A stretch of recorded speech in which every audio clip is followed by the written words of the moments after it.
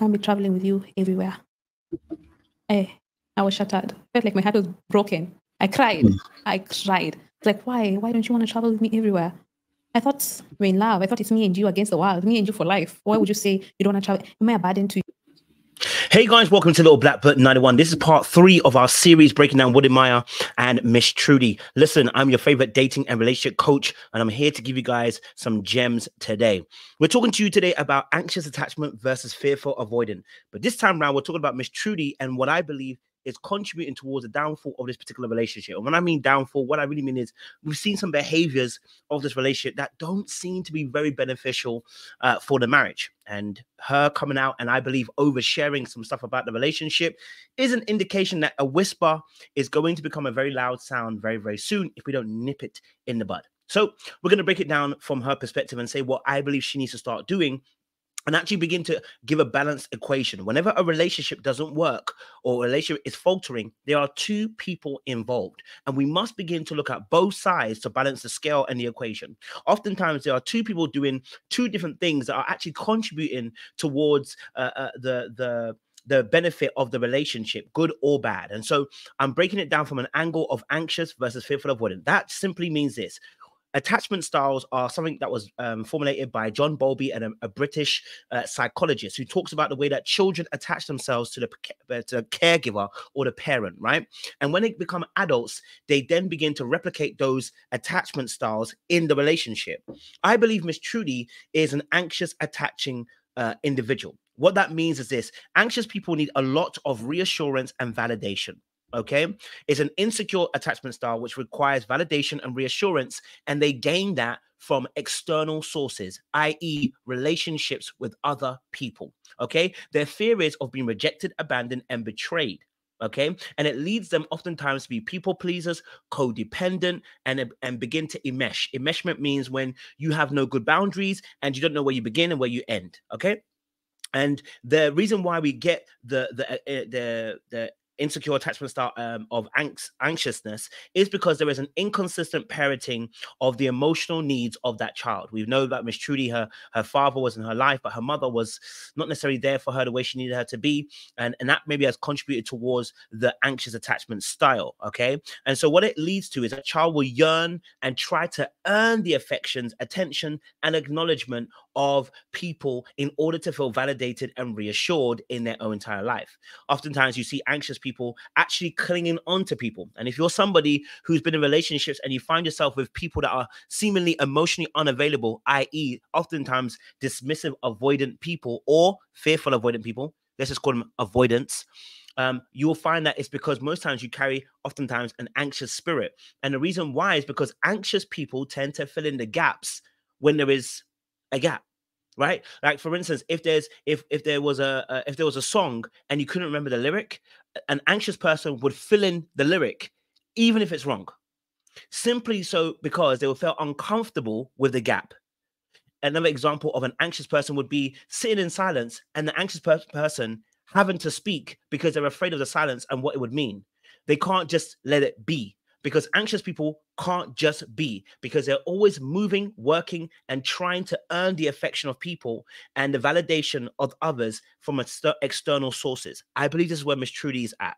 Okay. All right. Then we must talk about Wode Maya, which I'm not going to talk too much about because I've done the first two videos. I've broken his particular part down I, again. But fearful avoidant, I believe that Wode Maya is because of the way he was testing our good sis Miss Trudy um, in uh, uh, uh, in um, in a particular video. He was talking about how he tested her to you know make her annoyed and frustrated or because he wanted to make sure that you know uh that she you know make sure she liked him the way he liked him and this is actually a typical example of a fearful avoidant we'll play a little bit of a clip if you haven't seen it already let's go just to spice the relationship out Yeah. yeah just fight a little bit What what what kind of cr- trouble do you cause? Sometimes he just he just go ahead don't say it. say because feel free Sometimes there's nothing. He's just angry for no reason. And I'm like, what's going on? It's just angry. Yeah sometimes i just feel like why why, why are you smiling a lot you know? You be you be All right. So if you watch the rest of the clip, he also talks about how you know why he's smiling a lot, and the reason why is because he feels like you being smiling too much and too peaceful, it doesn't work for him, right? That you're that peaceful. For him, it's like you shouldn't be that at, at- that at peace. He's testing her, right? And people do that when they're not so comfortable and they're insecure about themselves because again, with a fearful avoidant for them, they they oscillate, which means jump between um, anxious and avoidant perspectives, right? Which means they crave love, but at the same time they reject it. When the love comes, they're afraid of you seeing them for who they really are. And so when they become vulnerable, right, in the commitment, they're afraid of being seen and you actually seeing them. The reality of the situation is at the beginning of any dating phase, fearful avoidance, just how anxious people are really great. It's when commitment comes in. It's when they feel like they have to commit and they have to be um they have to be uh, stagnated now in the relationship, or we're moving towards that, that you start to see the cracks in the armor and the chink. And so, with uh, uh, fearful avoidance, they are afraid of rejection and they're afraid of uh, people seeing that they are not worthy of love in a sense, right? They, they feel like they're not worthy of love and they feel like they're bad people. They feel like at the core of it, they are evil almost in a sense or they're bad they're not good right um and so they their thing is they they don't they're afraid of abandonment betrayal rejection um and because of that they will seek to uh uh cover up their vulnerability and that can end up being in the case of deactivating meaning they do what avoidance do right? They end up pushing you away or testing you or you know um withholding their affections from you because they're afraid of allowing you to get too close because once you get too once you make them too vulnerable they're exposed. And if you're exposed you'll really see them for who they actually are. And they don't like that. They're scared. They think that they they think they're real them they can't be loved for. And the reason being is because where they grew up they grew up in a household of chaos. They grew up in a household of chaos abuse um uh, uh an angry parent uh, a parent that was um I was very heavy on one particular emotion and then flipped it very quickly. So an unstable parent could be mental health. Um, and and that child was never sure how that parent would come. Another thing is alcoholic or drug drug filled parents as well, right? The, the parents that would be, you know, not sure what they were going to get each day because it was like a slot machine. The child didn't know how to regulate itself because it never knew what it was going to get. Now this is really important. Okay, all right, it's very very important because the fearful avoidant needs space and time. And this is where we're going to break down Miss Trudy um, and come to her again because I want to break down some stuff for you guys and hopefully you'll understand it. So if you if you've understood or you're not you're new to this, hopefully I've given you guys a little bit of a breakdown so you can understand where we're coming from. Why do I believe Miss Trudy is a problem in this relationship? Is because I think she's too silent. Anxious people tend to try to take on conform to the identity of the other individual, meaning they will take on your ideologies, your thoughts, and your processes. Now, this is really important because what ends up happening is they abandon their own needs and their own wants. Oh, who's calling me? Cuz this is not the time to call me. This is not the time to call me, please. And so they'll abandon their own, uh, they'll abandon their own needs, right, in a situation. And so what ends up happening um, is what ends up happening is that as they abandon their own needs, right, they forget and then they start taking on your wants, your needs, and your problems, and they start identifying with you. Now, why is this a problem? Because when it comes to any avoidant, dismissive, or fearful, which I think our brother Wode Maya is fearful, this is going to feel like he's being trapped. Now, this is really important because this conversation now will only look like Wode Maya is a problem. No, no, no. It takes two to tango. The anxious person has an ability to be a little bit clingy. Okay, let's just play a little bit of clip. I'm going to show you a little bit of clip here, right? Let's play. possible and you need to chase your dreams. That's my goal. But it took me so long to accept that or to see it like that. I, I just wanted to go with my everywhere. And when we travel together, sometimes I'm a lady. So it may take a little longer to get ready. Man doesn't joke with his time. So I'd, he'd have to wait for me. Sometimes we'd have to argue about time. Or sometimes we go to do content. He wants to do something. I want to do something else. He has to wait for me. Or sometimes you shoot Okay, pause it right there. Now, it may seem simple, like, oh, like, you know, it's not that big of a deal. It is a big deal to anybody who's an avoidant. What she just said and what she explained is this that for her, like, for instance, when they're doing work or whatever, right, he will have to wait for her, or she would have to get ready, or you know what, he wants to shoot something, but he can't have the autonomy. And this is a real word avoidance need autonomy. There is nothing wrong with autonomy, but it's very difficult because if you don't communicate in a relationship very well, you will destroy relationships. But avoidance need autonomy. They're never going to not need it. Okay, avoidance need autonomy, and because they need autonomy, what ends up happening is that in the relationship, right? When they feel like somebody's encroaching on their particular uh, turf and they're doing too much, being i.e. clingy, which anxious people can be very clingy because remember, their whole identity gets lost. They forget that they are an individual person and they cling to you and make their identity yours, what can end up happening, codependent and enmeshment, what can end up happening is that the, the avoidant person gets triggered and says, Whoa, you are doing too much. You're you're you're you need to have your own independence. One of the biggest pitfalls for any avoidant is that you don't have your independence because the avoidant grew up in a household where they had to self-soothe, probably had to protect themselves, had to earn their own money, had to, you know, uh, learn how to um, deal with their own emotions. They became a parent to themselves before they were even a parent, meaning they had to grow up really, really quickly. And because they had to grow up really, really quickly, unfortunately, in that space, right? There was no one there who was covering them and parenting them emotionally. And so what happens is they look at other people who can't parent themselves as weak. Because why can't you look after yourself? Because I had to. So what do you want me? Do you notice? And then I'll play a clip for uh the Wode Maya situation. This is why I said that it takes two to tango. It may look like he's a bad guy. That wasn't what I was saying. I was actually saying that actually there's more to the story, that there's two sides to the situation. I don't like the testing, but there's two sides to it. Let's just play a little bit of a clip. I want to see if I can get the right clip for you guys. Okay. Stay in the game till today. No, you if you call us even in midnight time, we'll show up. I'll be calling I up midnight think tonight. not issuing no, Yeah. uh, women. Yes. on you all Mm, the time, then mm. why are you the man? Mm, Because at the end of the day, you should be able to empower your woman. You see, you can ask 10 women, like, what do you bring on the table? And they will Mm. tell you sex. It doesn't make sense. yeah. What do you bring on the table? Like, we moved to a new house and when Hold on. Independent totally, but I'm Mm. just saying that as a man, if you always No, Here we go. Hold on. Now, uh, guys.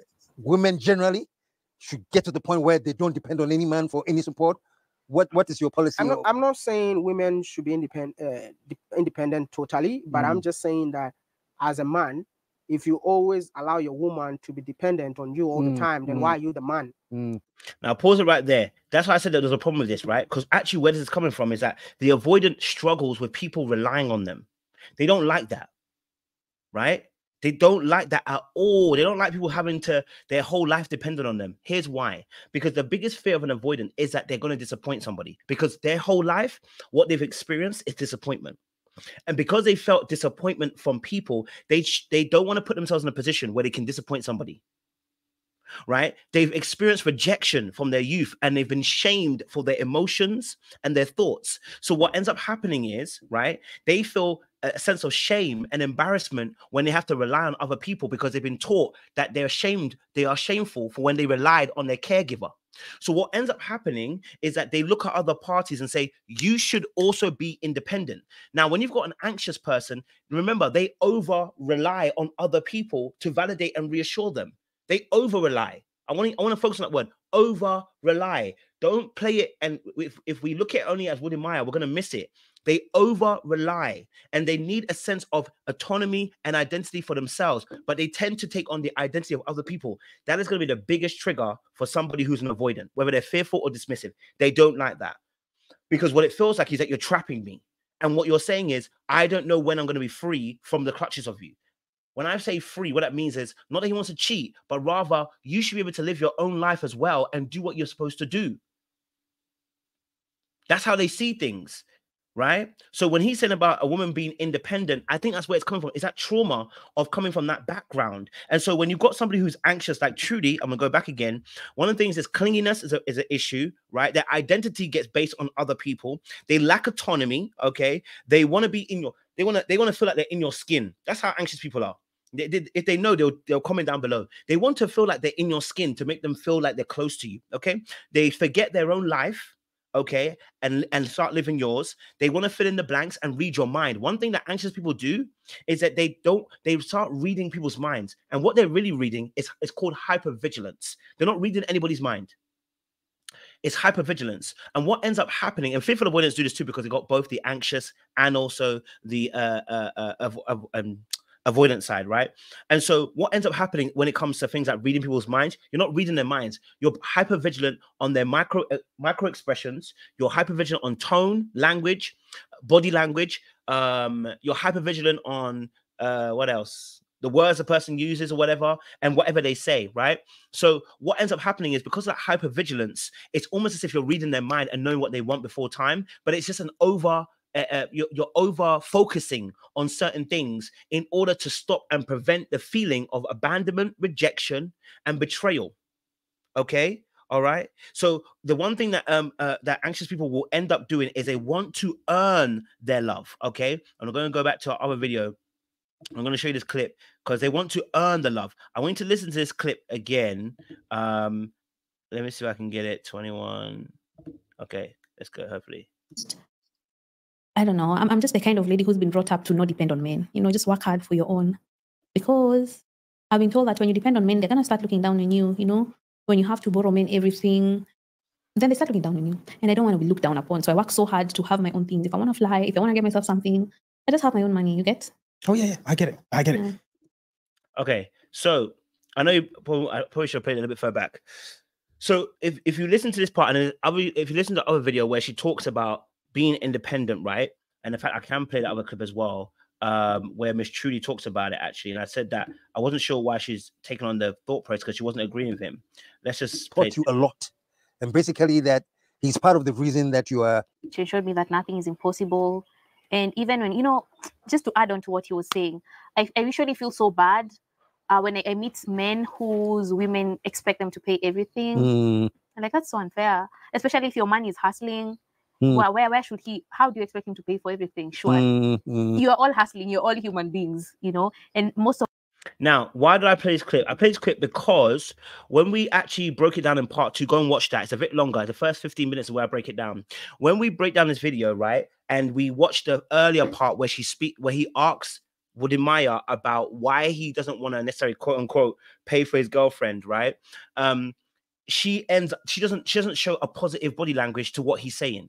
Right, she doesn't nod her head. She doesn't look in, like she's agreeing with what he's saying. Then suddenly she comes out later on talking about how she agrees with him, and it's like there's a contrast between the behaviors and there's a reason why. It's because again with anxious people what ends up happening is they're trying to earn the love so they will do whatever they need to do. They'll people please okay? They will people please. They look to they look to try and earn the affection and the validation. So if that means changing who they are to make sure they fit around you they'll do it they'll do it right okay they'll do it and so another thing of aspect of them is that their fear of abandonment and betrayal which we saw in uh the video with uh in her interview which we'll Is play it okay with it? I trust my husband. He trusts me. I'm not gonna cheat on my husband. He's not gonna cheat on me. Although initially I used to be so scared. Oh, I used to be so scared. I used to cry. Oh my god, I used to cry so much because when he travels alone, people would send me videos. Now it's not just the videos. She was already scared before this point. Now I'm gonna be honest with you. She was already scared before this point, more than likely. But that fear of abandonment and betrayal is very large there, as you just heard, right? That fear of abandonment and betrayal. And so what ends up happening is the anxious person will cling onto someone. And that's probably why it pushed him to be like, I just need space. You're doing too much. Because more than likely her behaviors were probably going to be end up probably being clingy. Right now, so before obviously, you know, you get to that point, we have to understand that these are these particular problems, okay, are going to cause the avoidant person to want to shut down. It's going to cause the avoidant person to want to push you away and reject you. It's going to want them to. It's going to. It's going to force them to say. To, sorry, it's going to force them to deactivate from you. So withhold affection, um, not tell you they love you, um, not want to be around you, avoiding you literally, physically. You know, um, not being emotionally present in that immediate moment or being unavailable emotionally. Um, whether it's they start flirting with other people, what they're trying to do is disengage you because they feel like you're too close. Now, does that mean that? Does it mean that he needs to work on that? Yes, and so does she because we can't have a clingy person and we can't have somebody who wants to run away. We need we need to have, have, a balance between the two. Okay, he's gonna feel like he's being trapped. He's gonna feel like he's being micromanaged. He's gonna feel like he has another mother, and that's one thing that anxious, uh, avoidant people do not like. They don't want another mother. Okay, they don't want you all up, all up on them, all over them, all touching. And you know what's so funny? I was watching a video and I thought to myself, and I haven't got the clip of it, I would have got it. And she was trying to touch him in the in the airport. She was trying to touch him, and he was like moving the hand away. I was like, why is he moving the hand away? And I realized I saw the exact same thing with Meagan Good, and I saw it with DeVon Franklin. It's like when when avoidance feel like you're too close, everything becomes too close, including your physical touch. Right? I don't know if I can get the clip for that for you guys uh, as well. Um, yes, I think I, if I can find a clip for you guys, I will find it um, as well. Um, let me see if I can get the clip for you guys and see if I can get it in the meantime. Well, yeah, we'll see. like being out there, people see me like, ah, Maya. And it's like this guy who doesn't know how to prepare stew. Aw. so this is like, you know, I've, I've, I've, I've come, Come a long way. This airport, anytime I come here, I just remember. Coming How now. come you never told me and you're always in this airport? Ah, just today, I just felt like Should I you. excited to open up your heart? Whatever One. today, hope it keeps touching you so you can Two. open up your heart more. Because this is a safe space. Exactly, exactly. So this place got a lot of like, Three. memories. I come here. I remember I had a digging car camera, which was for somebody. So when I was So three times he actually pushed her hand away. Now, why am I why am I showing you this? Because again, the way that avoidance behave when they feel like their space has been invaded emotionally, even physically, they want to reject you. This is why I'm saying that there needs to be an actual communication, and I'll talk about solutions in another video because there are actual solutions we have to go through, right? But what we're seeing right now, okay, may seem like it's very, very cruel. What's happening is a, it, he's literally trying to create distance between the two of them because he feels overwhelmed by the the clinginess or the anxiety of the other party, right? And so what ends up happening is sometimes when when people haven't worked on their avoidance side, this becomes too much because you're you're you're you're, you're, get, you're beginning to tread into my individual space, and I need my space as a as an avoidant person. I need my autonomy and I need my space, right? And so you saw her, him move her hand, and then she, yes, does it one more time. Let me show you uh, where again. This is last time here as well, right?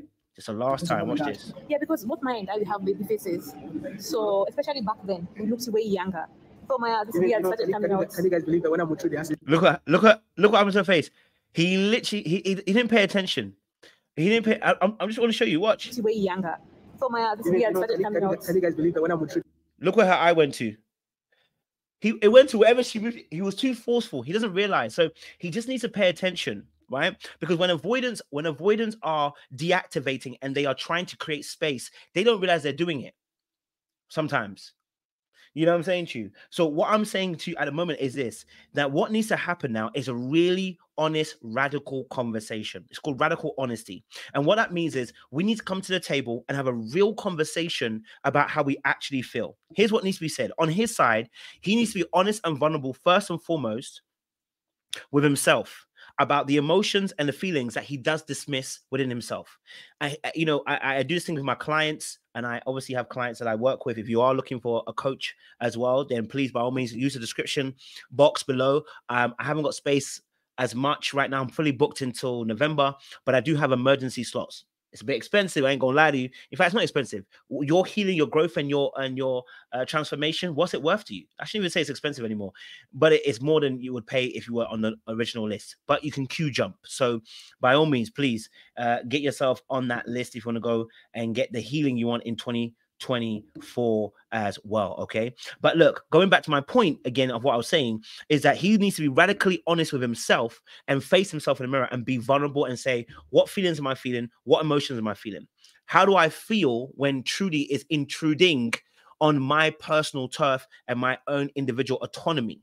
He needs to be honest about that. That's why they had that conversation about you can't fly everywhere with me. And he ended up hurting her and actually uh, hurting her feelings more rather than her understanding the reason why. The true understanding, understanding of why he wants to go alone, not because he wants to cheat, I don't think. I think the reality is he wanted space because you're in my space all the time. But he needs to communicate that in a way that lets her know, no, I love you. I care. I care about you. I'm. I. I, I want you. I just want you to know that I also need a bit more. I need a bit of space just to be able to just to be able to do what I do because it feels like you're encroaching my space a little bit. That's all, right? And then what they need to do is, and, and then what he needs to also do is, um, he needs to also work on uh, allow himself to be regulated, meaning he needs to start looking at what emotions and feelings are coming up when he's interacting with Trudy.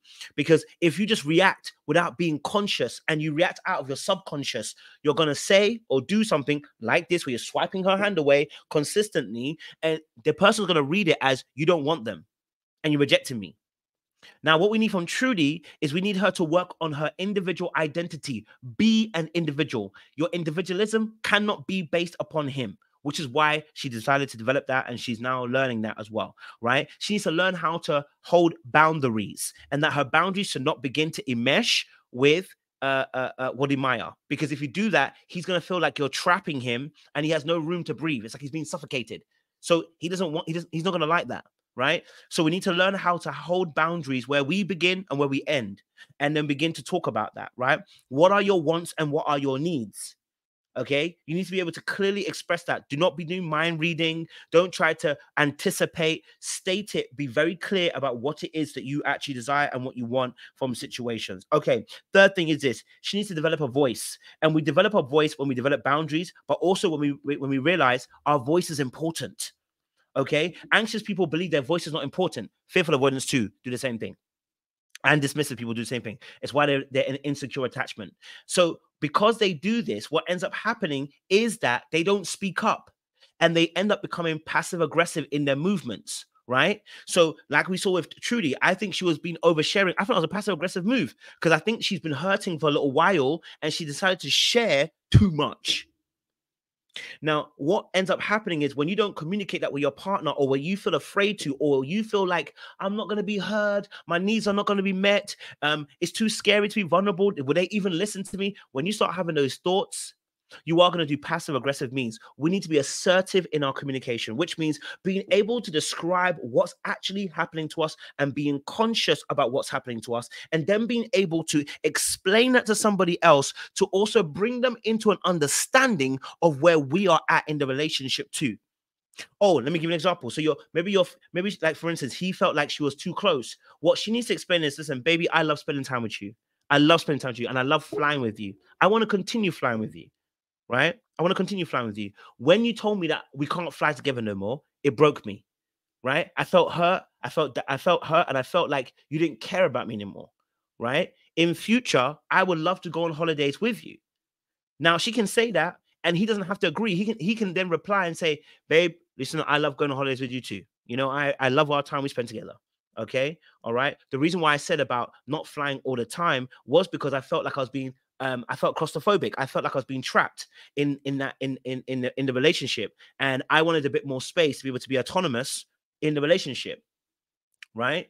And it's not like I don't want to spend time with you. I want to be autonomous. Right? So you know, in future, what I can do is that I can let's negotiate about the, how many times we go on a holiday together during the course of the year. Right? Solution but whilst at the same time stating and let her know it's not because she doesn't like he doesn't like her or doesn't love her it's simply because that's how he felt. It's got nothing to do with you it's to do with me. And so we have to do that what is what's called bec behavior explanation change. Bec behavior explanation change. And you top it off with a, a compliment at the beginning.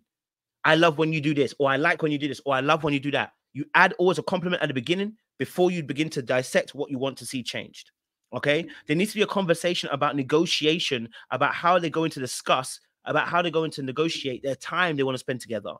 Also, there should be a code of ethics in terms of number one, how do we argue? What are the rules of engagement? What can we and can't we say in a in an in a in a, in a fight or in an argument? You know what I'm saying to you? There should be a code of ethics in terms of behavior. Let me give you one a code of ethics. As somebody who obviously is counseling people, right? Um, you know, let's say for instance, uh, let's say I was co- let's say I was coaching somebody in person.